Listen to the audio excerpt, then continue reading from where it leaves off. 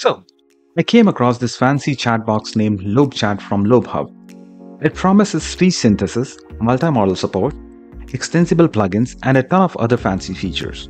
The feature that caught my attention was open source. I did a bit of research and found it to be interesting. Let me take you through my journey of exploration and installation of LobeChat that is completely free to use with your private LLM processor like Ollama. I do have this video that I shared a couple of days back. It talks about how you can have your own free LLM client without paying any subscription. So, without further ado, let's get into it. I started my journey by going to lobehub.com that hosts the Lobe chat stuff on their website. It's animated, looks impressive, but exploring further, it has a lot of information, overwhelming to me. And I was trying to find something that says free or open source. It says 306 plus assistants, which is impressive. Um, let's see if it is or these are available in the open source version or not. I clicked on get started button. It opened the lobechat.com, which is cloud version of lobechat, and it asks the sign in, but it provides the sign in option. I don't want to sign in or sign up here. Uh, let's click on chat and see what does it offer. Again, it is not letting me do anything here what is the price and then oh request failed so look, looks like it, it won't let me uh, access any of these features uh, without signing up and that is something that I don't want. It shows a list of oh wow that's impressive. It shows a list of all these available models. But do you see any related uh, Ollama stuff? No right okay um this is something that I am not sure if I'll be continuing with this. So this is this looks like a paid version. Let's go back to lobehub.com and see what is this. So if you browse further down you see okay this is free option but this is cloud. All these options are available in the free version which is zero dollars per month. And it provides you like impressive 450,000 uh, credits which allows us to make 900 messages for standard models and 90 messages for advanced model. What when we are exhausted of these uh, credits will be paying monthly subscription? No, I am still reluctant using this. So the, the other plans are $9.90 uh, $19.90 per month, $39.90 per month, which, which is uh, something that again I, I'm not interested in. So I'm, I'm still looking for something that says open source.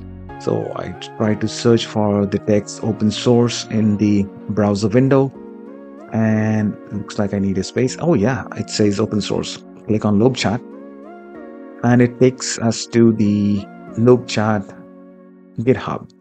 Okay, I'm again looking for something that says install open source Docker or something. Uh, this has too much information on here. Oh, it says LLM support, so it is promising that uh, we will be able to put in Ollama in place. So let's search further and look for something open source that says open source. Oh, okay.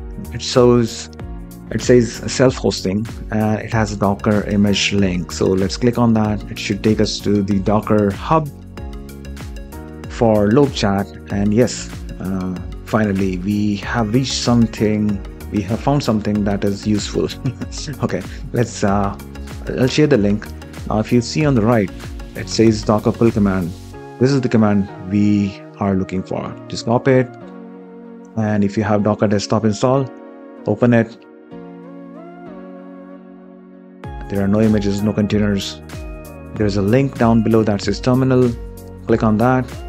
If it is not enabled, enable it. Or you can use your own uh, terminal from Windows or Linux.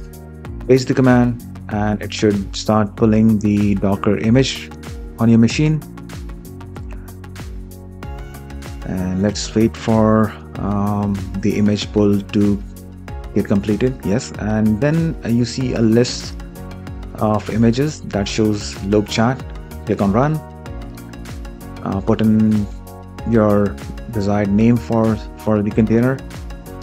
Port i'm using 3200 default is 3210 and you can leave it as zero if you want to have a random generated port.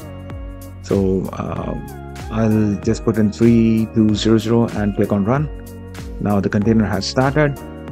If you go back to the containers you can see this is running five seconds ago and click the link and yep we got our own lobe chat that is running privately. Now let, let's explore. And you see there is no sign in or sign up option there. Click on that chat link there and we'll see what's available. Now if you click on that little brain you can see the many options. There are models available from Ollama as well right? And chat gpt let's click on chat gpt and say hello. Okay as expected it is uh, asking for OpenAI API key. That that's fine. Let's leave it for now. Uh, let's go to the settings as we are only interested in getting it free the free version of uh, private AI let's click on the language model. Uh, again the very first option is OpenAI. Uh, we are not interested in here yet. Just disable it. The second option is uh, that says Ollama enable it. If it is not enabled and uh, the interface proxy address uh, mine is hosted on a standalone linux machine. I'm going to provide that address here. Um, so th this is this is the location i have locally. I put in the port there and just click on the check button there. It's it's passed now that there are, there are models available you can add or remove uh, your own models there and that is all. If you see there are like a huge list of other providers including microsoft azure you, if you are subscribed if you have api keys just, just go in and put yours there.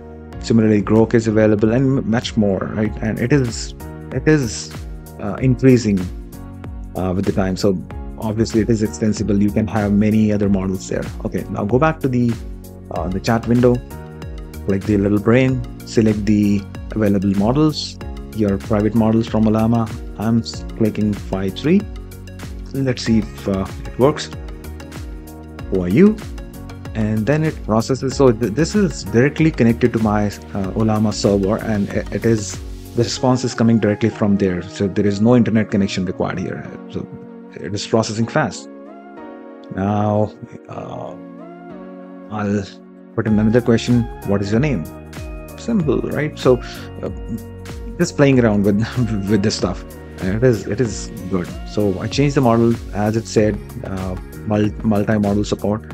So i changed the model to llama 3 and put in the question uh, it worked fine. So and there is a list of topics. There are default topics on on the right. You can create a copy rename those for your um, um, record keeping or you can delete uh, whatever you don't want to keep. So that that is all actually. So that, that was quick right? The only part was uh, the confusing part was the LobeHub website. It has a lot of information. Um, I wish they had this um, open source link or the Docker image link right on the face.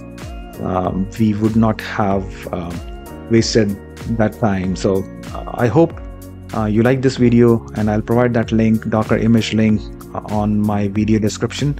So you don't have to go through all all these these stuff. But yeah it has good information. It is useful if you are looking to explore what are the options available what are the assistants available on the LobeHub. So that, that that is helpful. But if you are only looking to host your own version of uh, private uh, lobe chat then um, use the link I, i'm providing and that should be all. Uh, it's pretty fast.